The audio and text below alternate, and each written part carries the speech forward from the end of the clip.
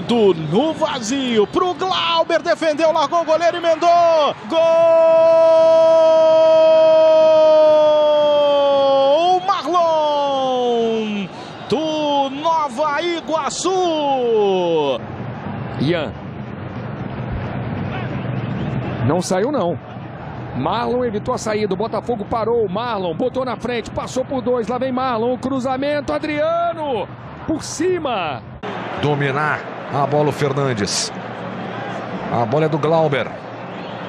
Olha o Marlon devolvendo para o Glauber. Bola sobra para o Nova Iguaçu que tem a chance do contra-ataque. Agora vem na velocidade, Dieguinho. Acelerou, foi para dentro da área, Dieguinho livre, bateu cruzado. Gol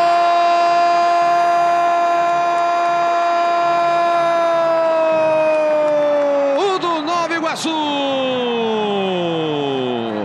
Camisa número 9, abre o placar aqui no Engenhão.